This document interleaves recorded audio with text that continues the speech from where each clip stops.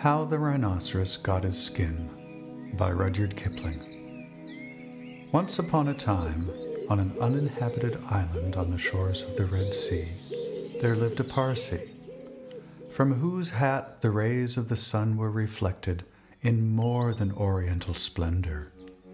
And the Parsee lived by the Red Sea with nothing but his hat and his knife and a cooking stove of the kind that you must particularly never touch.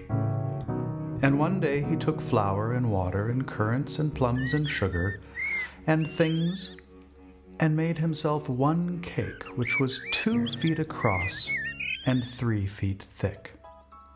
It was indeed a superior comestible. That's magic.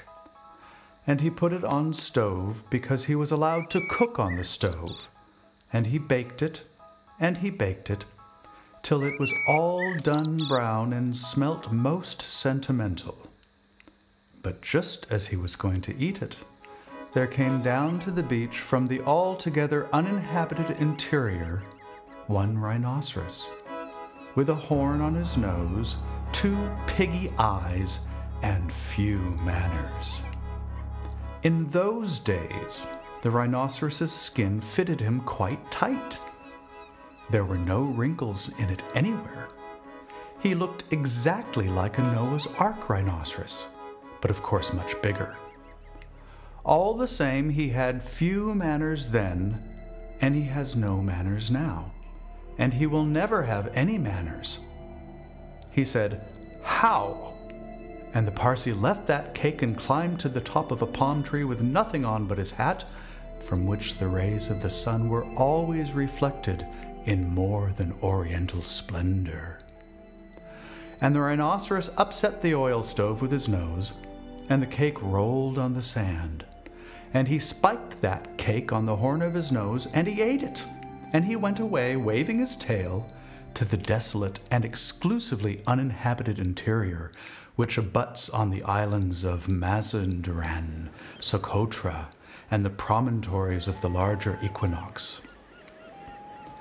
Then the Parsee came down from his palm tree and put the stove on its legs and recited the following sloka, which, as you have not heard, I will now proceed to relate.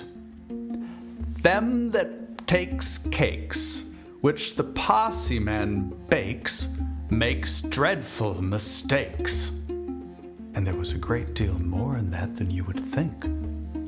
Because five weeks later, there was a heat wave in the Red Sea, and everybody took off all the clothes they had.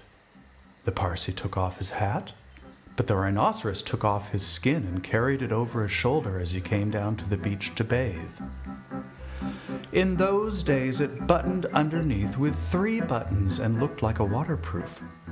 He said nothing whatever about the Parsee's cake, because he had eaten it all, and he never had any manners then, since, or henceforward. He waddled straight into the water and blew bubbles through his nose, leaving his skin on the beach. Presently, the Parsee came by and found the skin, and he smiled one smile that ran all round his face two times. Then he danced three times round the skin and rubbed his hands. Then he went to his camp and filled his hat with cake crumbs, for the Parsee never ate anything but cake and never swept out his camp. He took that skin and he shook that skin and he scrubbed that skin and he rubbed that skin just as full of old, dry, stale, tickly cake crumbs and some burned currants as it ever possibly could hold. Then he climbed to the top of his palm tree and waited for the rhinoceros to come out of the water and put it on. And the rhinoceros did. He buttoned it up with the three buttons, and it tickled like cake crumbs in bed. Then he wanted to scratch, but that made it worse. And then he lay down on the sands and rolled and rolled and rolled, and every time he rolled, the cake crumbs tickled him worse and worse and worse. Then he ran to the palm tree and rubbed and rubbed and rubbed himself against it. He rubbed so much and so hard that he rubbed his skin into a great fold over his shoulders, and another fold underneath, where the buttons used to be. But he had rubbed the buttons off. And he rubbed some more folds over his legs, and it spoiled his temper, but it didn't make the least difference to the cake crumbs. They were inside his skin and they tickled. So he went home, very angry indeed and horribly scratchy. And from that day to this, every rhinoceros has great folds in his skin and a very bad temper, all on account of the cake crumbs inside.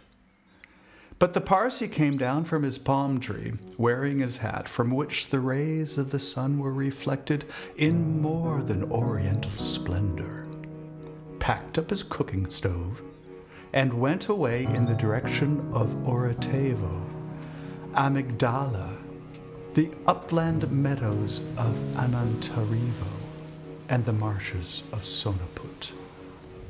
This uninhabited island is off Cape Gardafui by the beaches of Socotra and the pink Arabian Sea.